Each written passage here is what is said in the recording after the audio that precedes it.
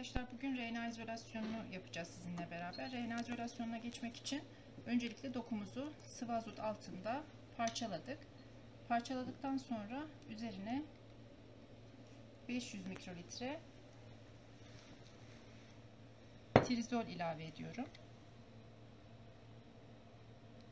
Trizol ilave ettikten sonra bunu iyice pipetaj yaparak homojenize hale getiriyorum.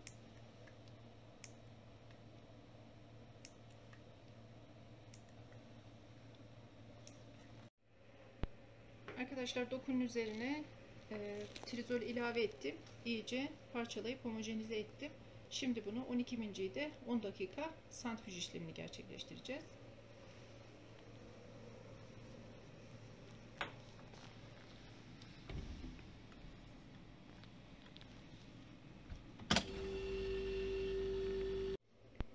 Arkadaşlar santrifüj işlemi tamamlandı. Şimdi süpernatantı alıp yeni bir tüpe aktaracağız ve 5 dakika buz üzerinde bekleteceğiz.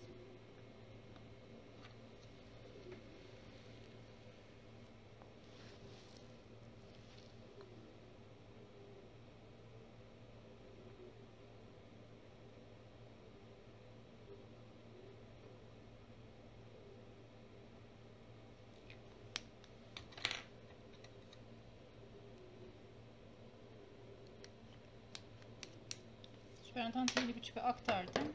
Şimdi bunu 5 dakika buz üzerinde bekletiyorum.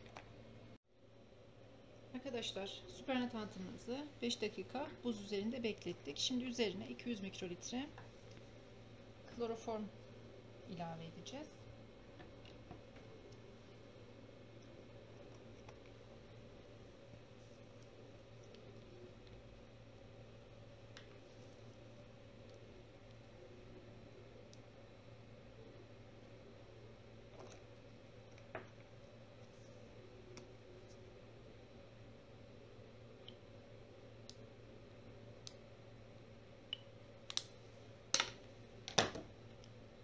Bunu kuvvetlice çalkalayıp 2 dakika yine buz üzerinde bekleteceğiz. Arkadaşlar kloroform ekleyip 2 dakika buz üzerinde beklettiğimiz tüpümüzü şimdi 12 binciyi de 15 dakika santrifüje bırakıyoruz.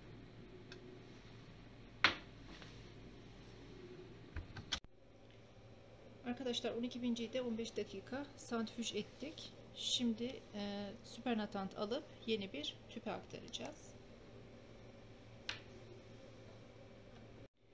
Arkadaşlar süpernatantı yeni bir tüpe aktardık. Şimdi bunun üzerine 500 mikrolitre soğuk izopropanol ekleyeceğiz.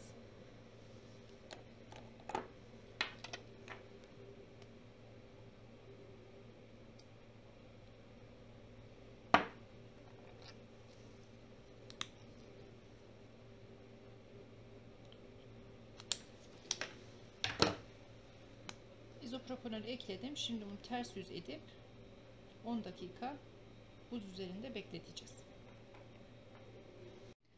Arkadaşlar izopropanol ilavesinden sonra ters yüz ederek 10 dakika buz üzerinde beklettik. Şimdi tekrardan 12 binciyi de 10 dakika santrifüje bırakıyoruz. Arkadaşlar santrifüj işlemi gerçekleşti. Şimdi bunun üzerindeki süpernatantı uzaklaştırıyorum.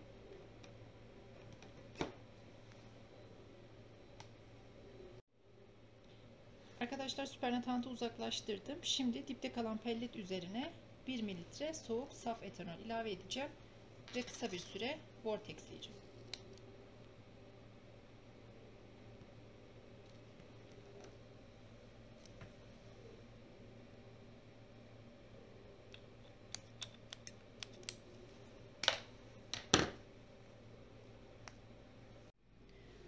Arkadaşlar pelletin üzerine e, soğuk saf etanol ekledim. Vortexledim. Şimdi bunu 9000 de 5 dakika tekrardan santrifüj ediyorum. Arkadaşlar santrifüj işlemi gerçekleşti. Şimdi üzerindeki süpernatantı uzaklaştırıyorum.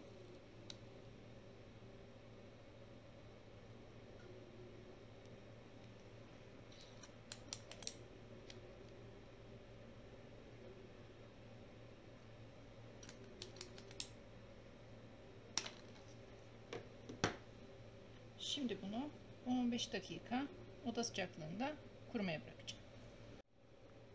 Arkadaşlar tüplerimizi 10-15 dakika oda sıcaklığında kuruttuk. Şimdi üzerine 50 mikrolitre depekli su ilave edip RNA örneğimizi homojenize edeceğiz.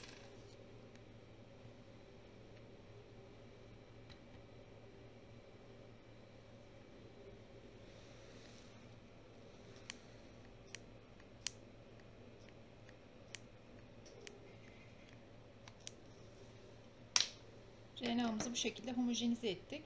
Eğer RNA'yı hemen kullanacaksanız zaten e, izole ettikten sonra buz üzerinde bekletiyorsunuz. Eğer kullanmayacaksanız da eksi 80'de kullanıncaya kadar muhafaza edebilirsiniz.